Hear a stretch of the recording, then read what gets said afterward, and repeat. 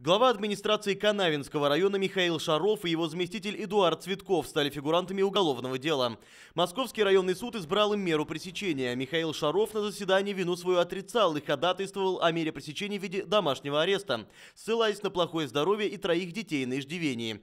Чиновники обвиняются в получении взятки. По версии следствия, один из предпринимателей отдал им 150 тысяч за осуществление торговли на территории Канавинского района с нарушением установленного порядка, а также за общее покровительство в проведения ярмарки на центральном рынке на улице Чкалова. Стоит отметить, что Михаила Шарова задержали прямо в здании администрации Канавинского района. Московский районный суд заключил его под стражу до 25 марта.